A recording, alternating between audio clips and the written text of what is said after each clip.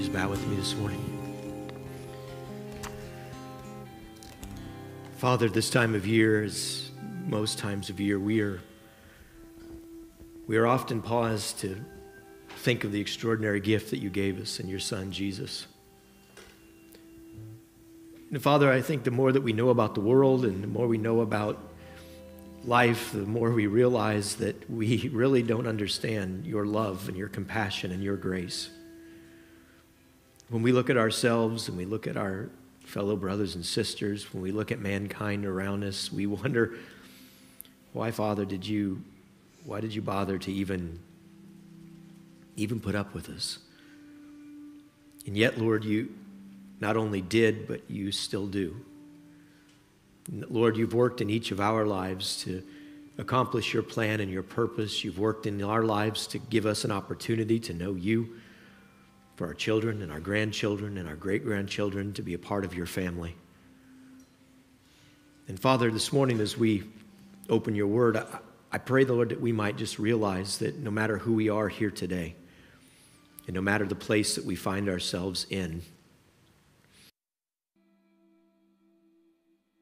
lives and you have a purpose for us being here. Father, sometimes we listen to the devil and he tells us that, that our opportunity is past, that our best life can never be realized, that any good things we may have done or could have done no longer can be accomplished because of the brokenness of our story. And I just thank you, Lord, that that is not the story you tell in the birth of your Son. Please, please open our hearts, Lord, to understand that for ourselves personally. We pray all these things in Jesus' name.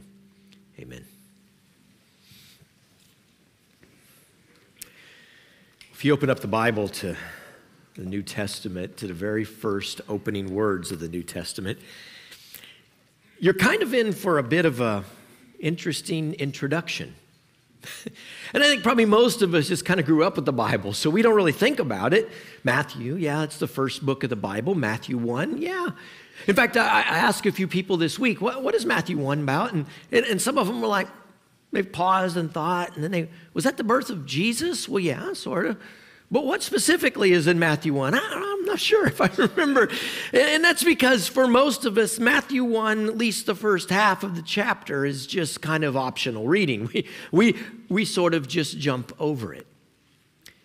But Matthew is writing to a very specific audience an audience of Jewish people an audience of Jewish people who are in a world and in a time where their holiness, their appearance of holiness at least, is so very important to them. It's this, it's this idea of, of, of wearing their phylacteries in a large manner and large, large flanges or large tassels laying off the sides of their garments, the corners of their beard dyed white so people can see that they're, they're long. They, they were big on appearances, but as Jesus described them later, he would say, You guys are rather like whitewashed tombs. You're, you're full of dead men's bones on the inside. And writing to this very audience, Matthew opens up his gospel with these words This is the family history of Jesus Christ. He came from the family of David and David from the family of Abraham. And I, am reading this morning from more of a paraphrased version. You can follow the traditional version on the screen behind me.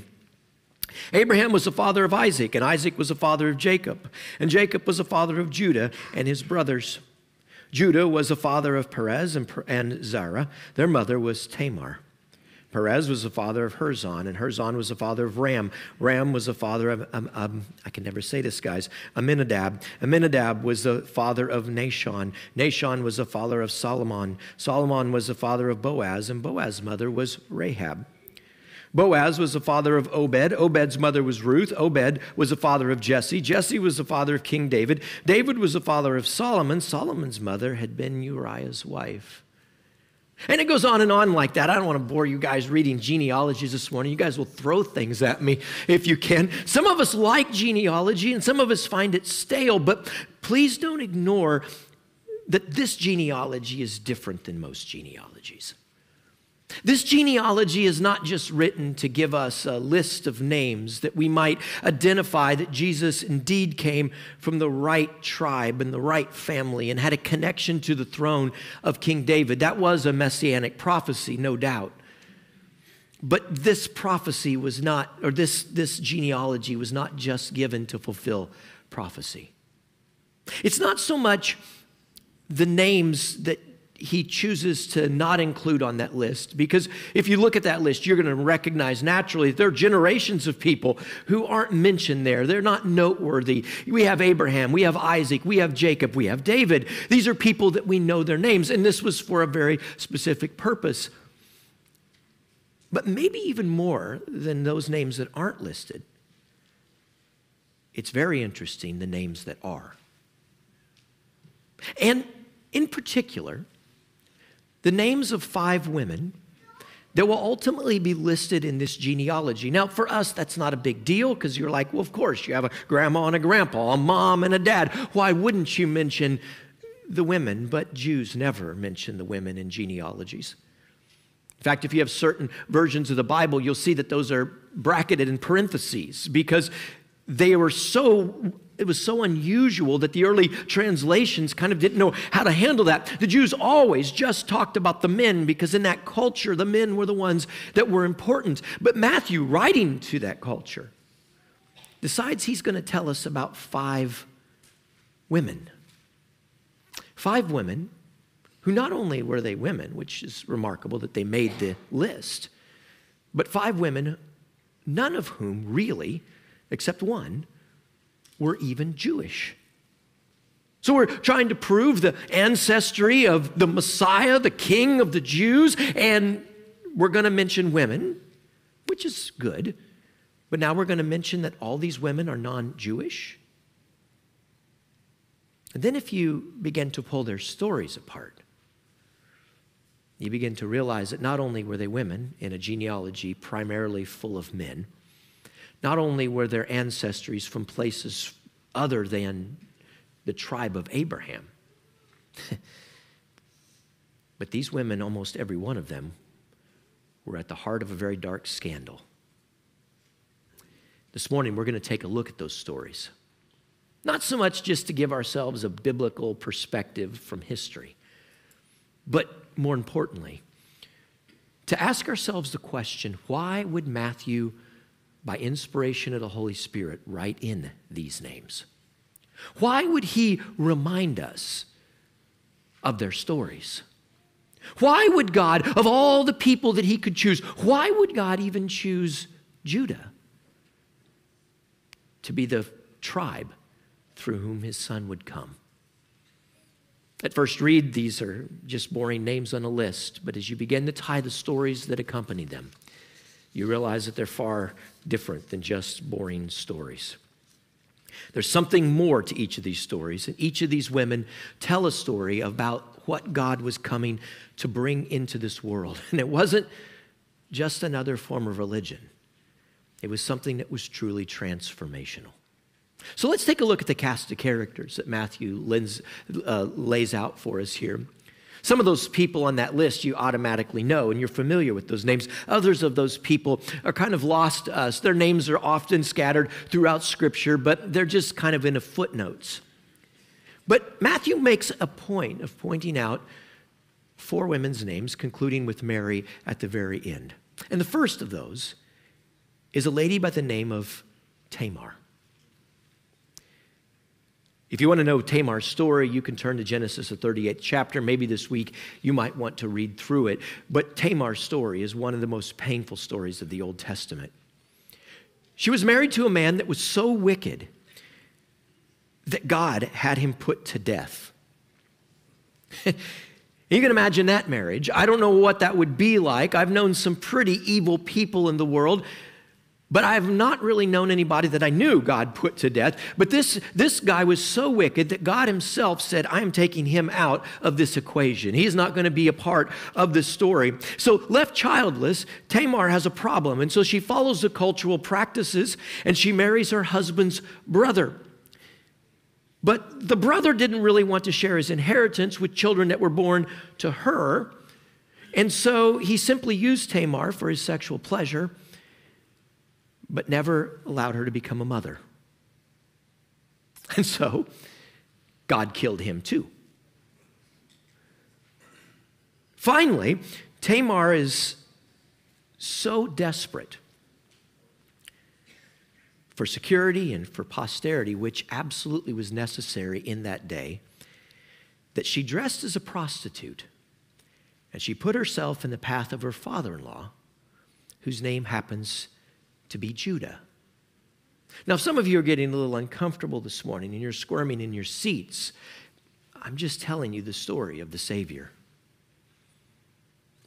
She ends up seducing her father in law, Judah, and ends up becoming pregnant and giving birth to twins, one of whom is Perez, and Perez is a part of Jesus' family tree.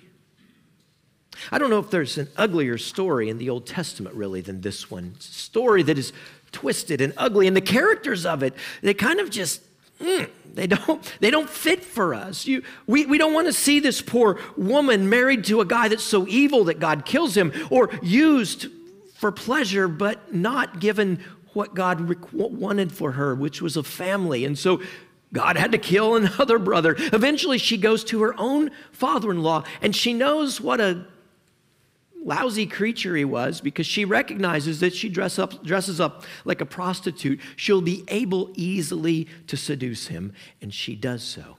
If you know that story, you know she keeps a couple things because if she hadn't, she would have been killed for her sin. She kept his staff and she kept his seal. And when he hauls her in, in order to figure out why she became pregnant, she simply presents those items to him publicly, and he has to admit his sin. Sometimes we forget that the beautiful story of Jesus lying in a manger is not a story that is neat and tidy. It's not a story whose background is full of people who have it all together. In fact, the opposite is quite true, and Matthew here points this out deliberately to us. The second person on the list is a woman that maybe we're more familiar with. Some of us might not know the name Tamar, but we probably all have heard of the woman named Rahab. Yes, that Rahab. The Rahab that the spies met when they were sent as a part of an advance party to scout out the city of Jericho when about two million Israelites were about to come in and conquer the promised land. And Joshua did what normal leaders do. He sent some people out and he said, Scope this out and tell us about what's going on. And so these guys kind of infiltrate the city, but it's not long before the people in Jericho realize that they have been infiltrated.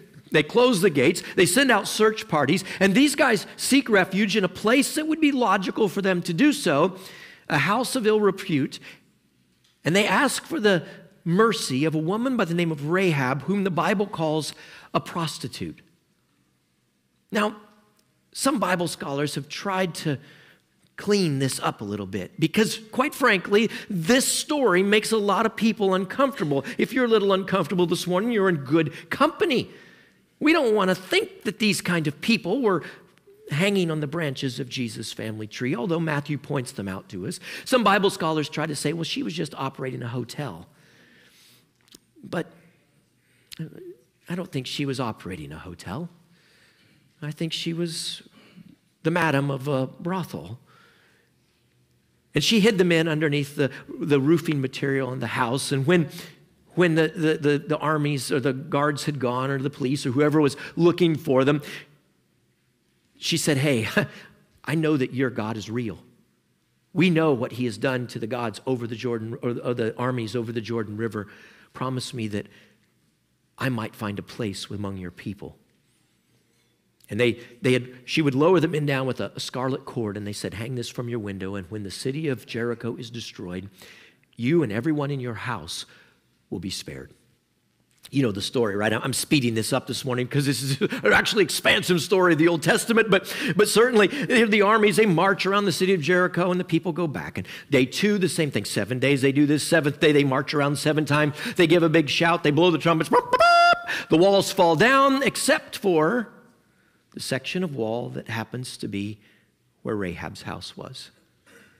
Remarkably, just for fun this morning, maybe you know this, maybe you don't, but Jericho is a place that we do know where it is, and they've done a lot of excavations in Jericho, and they find an interesting thing that this big, massive wall of Jericho, for some reason, kind of fell outwards. But there's one section of wall that didn't fall. I wonder whose house was there. And the remarkable part of this is, is that, that, that Rahab finds her way into the family tree of Jesus. She becomes a, a part of the Hebrew people, and she becomes a person that's listed here in Matthew, the first chapter. We go on to Ruth. He mentions Ruth. We know her name, and we're often quick to think, wow, well, why would Ruth's story be any, in any way scandalous? But, but that's just because we read that story and we don't really get the cultural context. Ruth was a Moabite, which meant that she traced her ancestry not to Abraham, but to his nephew, Lot. Some of you remember Lot. And things started out really well for Abraham and Lot, as you remember. I think Lot was a good guy. And, and he, he came with Abraham to go to this place that God would show him. And, and Lot seems to be game to kind of come along and join in on this. And so, so here comes Lot. Lot joins in with, with Abraham. But eventually, Lot and Abraham's employees begin to have problems with one another. And so Abraham makes a deal with Lot. He says, Lot, here's the thing. Why don't, why don't you pick? You can either have the hill country and the mountains, or you can have the well watered plain. But we, we just need to kind of divide up because our guys aren't getting along. We're both now prosperous farmers. God has blessed us both, so we're just going to have to make that division. And it says that, that Lot looked around and he made the obvious choice to take the well watered valley, and the cities of the valley were Sodom and Gomorrah. And it says this simple word it says that Lot pitched his tent toward Sodom. In other words, every morning he got up, there was Sodom. Every evening he went to bed, there was Sodom. There's a, there's a powerful story in this text. I, I just can't skip over it. And that is that, guys, the thing that you're focused on is the thing that ultimately you will accomplish. The thing that your family is focused on will ultimately be the thing that your family ends up worshiping. I don't know what that is for your family. I have to have to plan that for my family. Where is your family's tent pitched? What is it that gets the most focus and attention in your home? Is it the Lord or is it other things in the world? Because the remarkable part of Lot's story is that while Abraham gets the kind of trashy mountain ground, and he goes up there and he thrives, and his, his, his flocks grow, and he becomes a, a man of God after a lot of false starts, Lot ends up as one of the city leaders in Sodom. Eventually, it wasn't just enough to have his tent pitched toward Sodom, but eventually, Lot lived in Sodom. You guys know the story about when the angel of the Lord came and the other angels came and they had a conversation with Abraham and there was this whole thing where they, they kind of kind of this bartering deal about well if there's 100 and if there's 50 and there's 25 and finally if there's just 10 righteous people in this whole big city 10 righteous people. Guys that's unbelievable. That's the grace that our God has. If there were just 10 good people in the whole town the angels knew there wasn't 10 good people in the town they were just going to go get Abraham's nephew and his family out, probably because of their kindness toward Abraham. And so the, the, the, the, two angels go into the city. The angel of the Lord, as it's described, stays apparently with Abraham at the tent or returns where, where they came from. But these two angels go into the city. And of course, immediately the men come out and, and they're wanting to do terrible things with these guys. And uh, we'll just keep it PG this morning. And, uh, and so, and so uh, the angels strike them all with blindness. You guys know that story. And eventually sweep out Lot and his wife and his two daughters. And they said, Don't even look back as, as fire from heaven begins to fall on the city. And of course, Lot's wife is just overwhelmed with curiosity and she turns. She becomes that pillar of salt. But then Lot and his two daughters, they run into the mountains and they think that they're the only people left in the world. They think the whole world's been destroyed, and you can understand why. All they heard was just a, a commotion behind them, fire and brimstone falling from heaven. They think that everyone in the world is gone. And so the girls end up coming up with this just absolutely sick plan. They get their father drunk and then they become pregnant with their dad.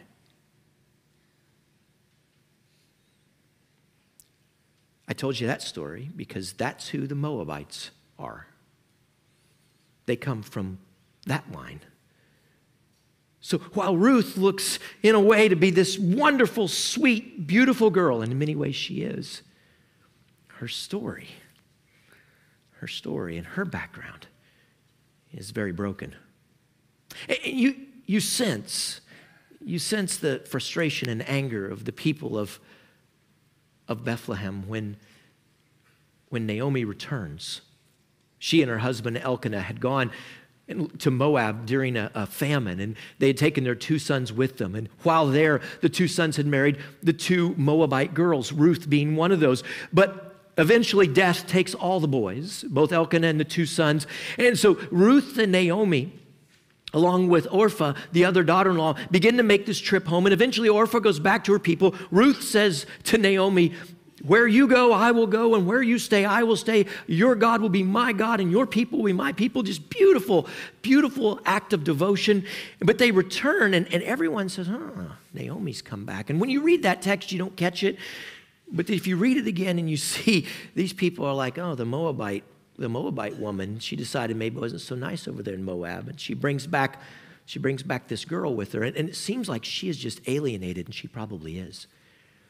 Naomi renames herself. No longer is she Naomi, but Mara, which means bitter. Right? So can you imagine this? This poor girl comes back to a group of people that don't really like her with a bitter mother-in-law. This sounds wonderful, but God was working. Guy named Boaz has favor on Naomi because he sees Ruth working in the field. He tells the guys, hey guys, why don't you leave a little bit on the edges of the field there for her because she's kind of cute. Boaz is this wealthy, unmarried farmer, right?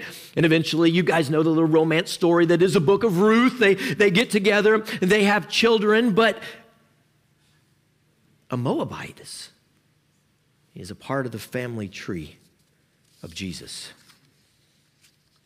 And then, and then Matthew chooses to remind us that just a few generations later, there was another woman who also probably wasn't Jewish, and if she was Jewish, she had kind of given up her Jewish identity because she was married to a guy by the name of Uriah. And her name, of course, is Bathsheba. And many of us know that story, right? The story of, of David and Bathsheba, Uriah, one of David's mighty men, one of his loyal soldiers, a guy that was actually a Hittite who were a member of the tribe of people that had dominated the land of Canaan prior to the arrival of the, of the Hebrew people. And, and, uh, and when David was out in the middle of, uh, when David was running from Saul, the Bible says that God sent him all kinds of people, all the rejects from all different tribes around. If you didn't fit in anywhere, then you could come and join up with David. And God created out of that band of misfits what I think is we look back now and see as David's mighty men. If you ever read through that section of scripture, most of those guys were not Hebrew. Most of them were from other countries. And I think those are the guys that met with David back at that point in time. But here's the point Uriah has married this beautiful woman by the name of Bathsheba, and because he's such a prominent part of David's military force, he has a house right next door to the palace, which works out really well until the king decides that he's not going to be about doing what he's supposed to be doing, which is leading his people. But he's going to sit at home and get idle late at night in front of the computer, or, well, no. He's going to get late, he's going to get idle late at night on his rooftop and for whatever reason, the neighbor lady's out there bathing. Maybe this is normal. It's no excuse for David. David was a man of God. David should have gone into the house or sent someone over and said, Hey, uh, I, was, I was out on my roof. Can you uh, hurry up? But what does David do? He summons her over. And I don't really think she had a whole lot of say in that matter. In that time when the king said, You did. And she becomes pregnant. And of course, David tries to cover that up by bringing Uriah home, but Uriah is a better man than he is. Uriah said, I can't go into my house and enjoy my family when all the rest of my brothers are on the battlefield right now and may die. So he sleeps on the steps of the temple. And then he takes back to Joab, the commander of David's army, a letter from David, sealed and stamped. And David knew he was such an honest man, he would never open the letter and the letter was his own death sentence. Put Uriah in the heat of the battle and then everyone back away and just let him get cut down. It's exactly what happens to Uriah. And Matthew says, oh, yeah, Bathsheba, she was the, father, the mother of Solomon. Finally, he concludes this genealogy with Mary, and we've talked about her story, so we won't belabor that point. But Mary, even in the eyes of the people at that time, was kind of the center of a, of a scandal in a sense. She was impregnated by the Holy Spirit, and I don't know how many people believe that story. We know it to be true, but five women. Five women whose stories are tortured. Tamar, who went through a miserable kind of story. And why would she be there? Rahab, a, a prostitute. Why would, why would Matthew say, ah, and there was Rahab, she was in there? Or or, or Ruth, uh, she, was, she was descended from a tribe of people that, whose origin was incest, or, or, or Bathsheba. I mean, she was a part of one of the biggest scandals that's ever happened in mankind. I don't think there's been an affair that's been better publicized, more talked about, or preached in the history of mankind than David and Bathsheba. It's what, 3,500 years later? We're still talking about it. Or Mary. Why would why would Matthew include this story?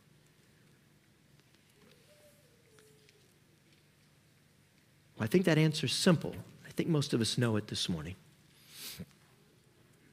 But I think it's important that we be reminded of it.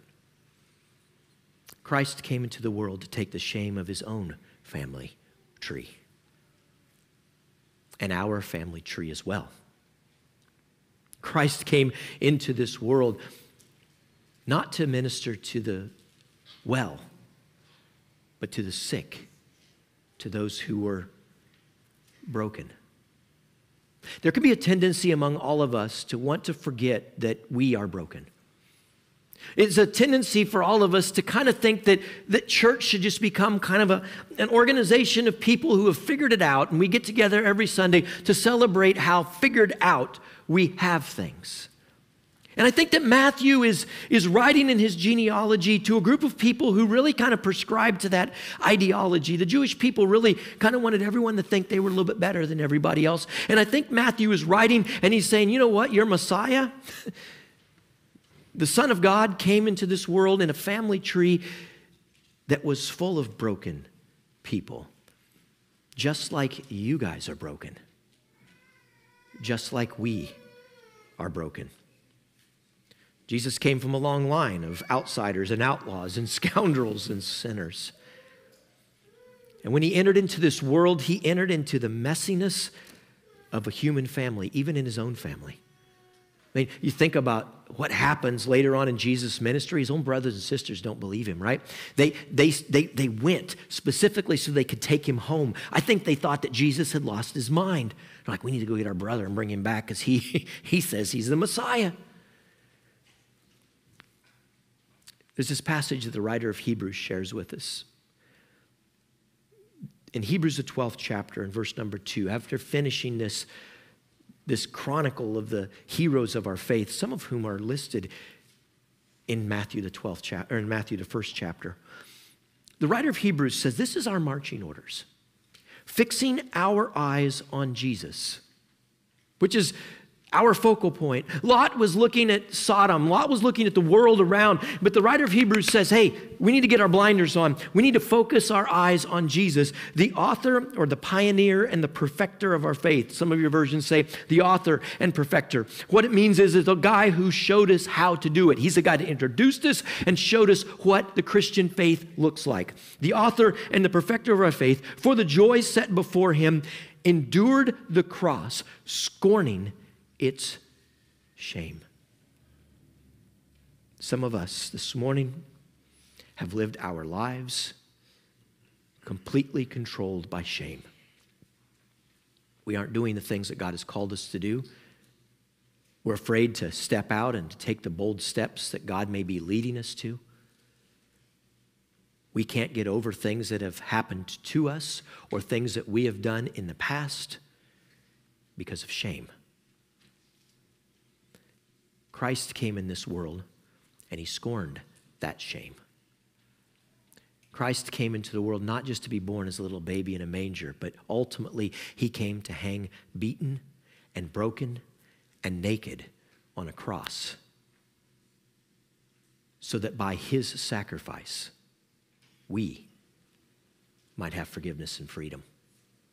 And not just us, but all those generations of broken people before him and all the generations of people that would follow.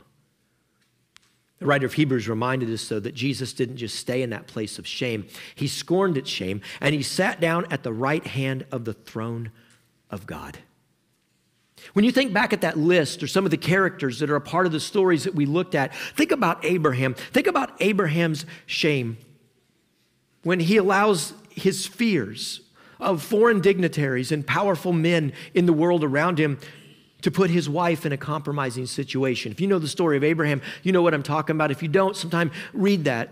He goes to Egypt, and the, the, the king of Egypt looks and says, eh, You got a good looking wife. I don't know what genes Sarah came from, but she's pretty old at this point. She's in her 60s or 70s, and she's still turning the heads of kings.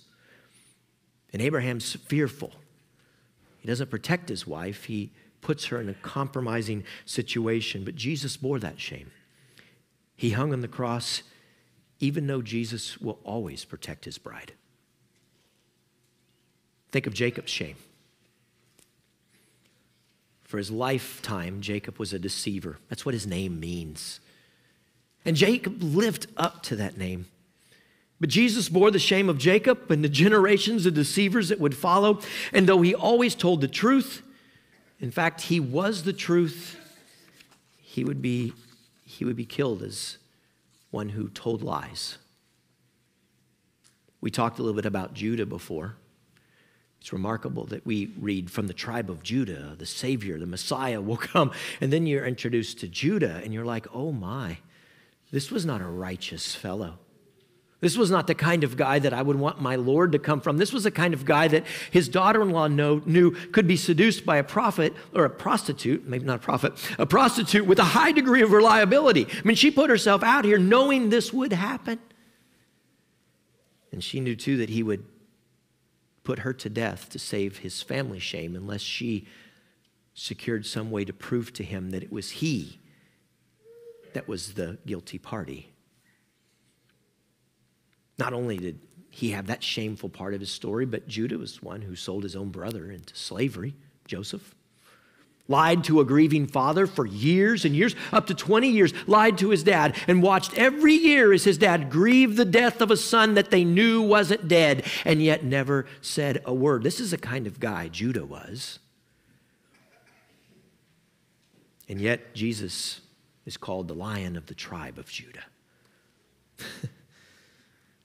you think of King David's shame, it hung around him like a prison sentence for the rest of his life. His family was destroyed, his peace was destroyed, his name and reputation in many ways was forever tainted by that terrible affair that he had with Bathsheba. And yet, as we consider all the people who are part of the family of Jesus, we recognize that they were members, proudly listed, or I don't know, proudly listed, but listed by Matthew their names drawn out to remind us of something that God so loved the world that he gave his one and only Son, that whoever might believe in him would not perish, but might have everlasting life. Church, the, the challenge for us in the time of year that we're in is that we've got to point out to the world that Jesus is not just a little baby. He's not just a celebration that we celebrate in the cold parts of the year with cute songs and pretty lights and gifts that we give to one another. The real gift that we need is not underneath a tree, but it hung on a tree. The real gift that we need in this broken and messed up world, every single one of us, is the blood of Jesus Christ.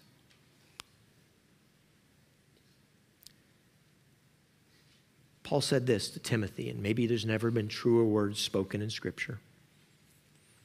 He said, This saying is trustworthy and deserves full acceptance. if you want to know something true, Paul says, listen up.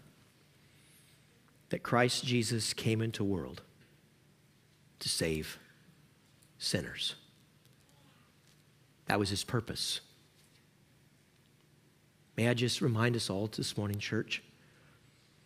Our job isn't to save the sinners, but our job is to let the sinners know about the Savior.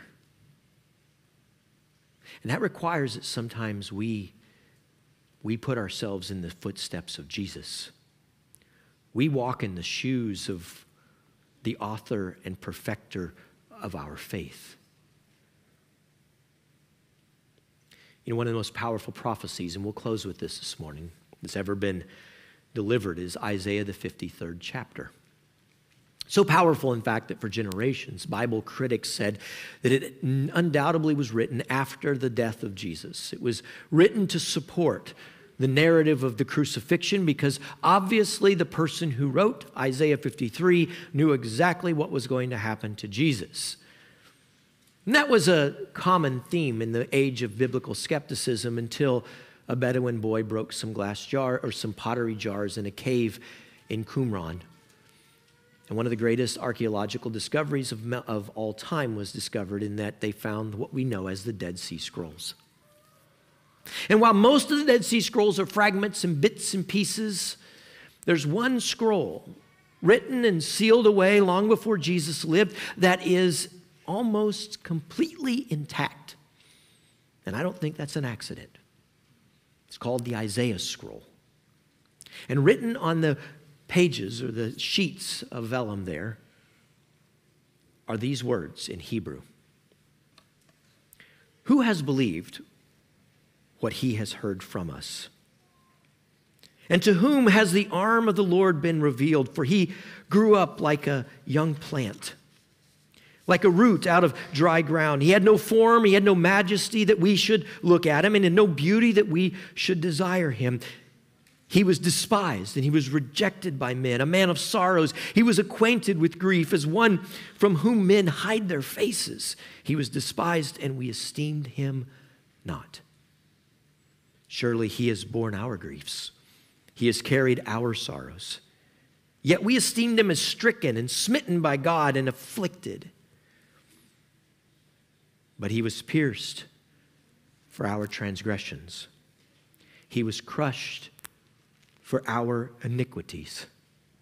Upon him was the chastisement or the punishment that brought us peace, and with his wounds we are healed. All of us, like sheep, have gone astray. We have turned everyone to his own way, and the Lord has laid on him the iniquity of us all. I don't know why Matthew wrote the story that he wrote in the opening pages of his gospel. But I bet if we could ask him, he would tell us it's because Jesus' family tree was made by God to look a lot like your family tree and mine. I have some of the same sins in my family tree. I don't know my family history, but I know that I was born in a home for unwed mothers which means that somewhere along the line, probably a couple good kids made a mistake, and I was a result. And I am so thankful that my mother didn't choose to do away with me in abortion.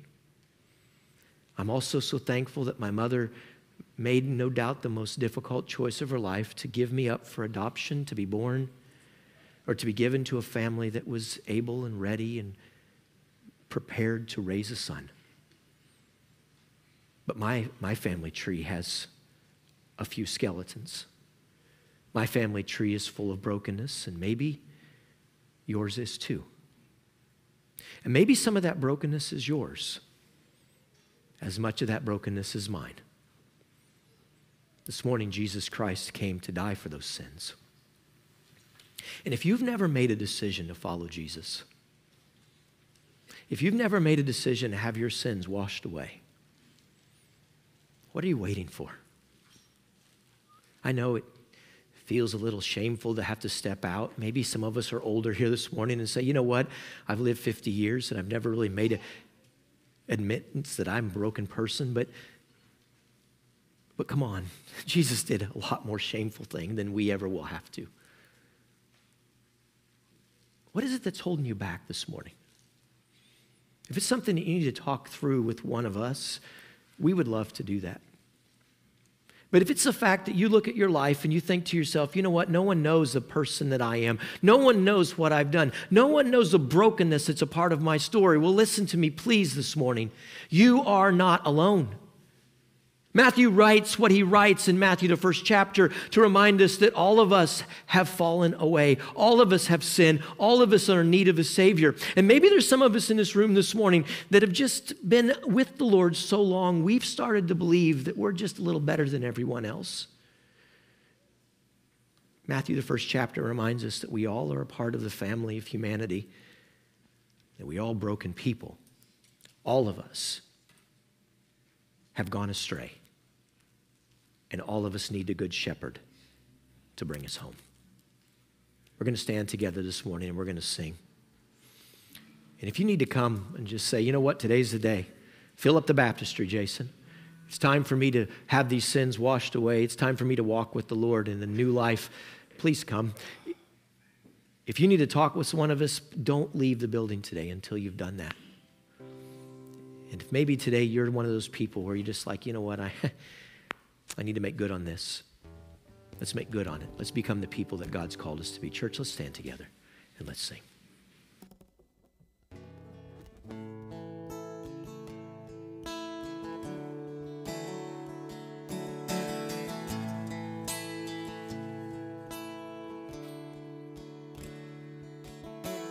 King of my life, I crown thee now thine shall the glory be. Lest I forget thy thorn crown brow, lead me to Calvary. Lest I forget Gethsemane,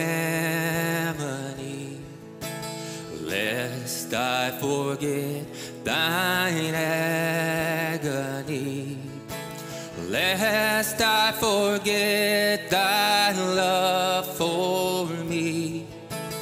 Lead me to Calvary. Show me the tomb where thou wast laid, tenderly mourned and wept with angels in robes of light arrayed, guarded thee whilst thou slept.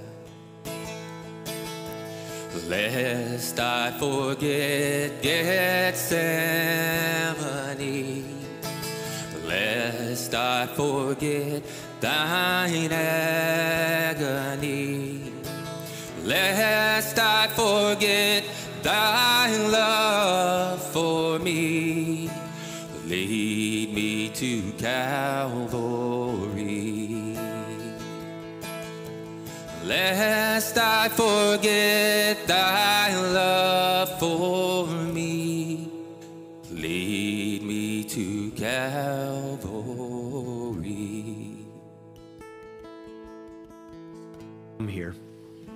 to remember what Jesus did for us. And as we're seated this morning, I just want to welcome Mr. Mike. He's going to prepare our hearts to remember what it is that Jesus did for us when he died on the cross.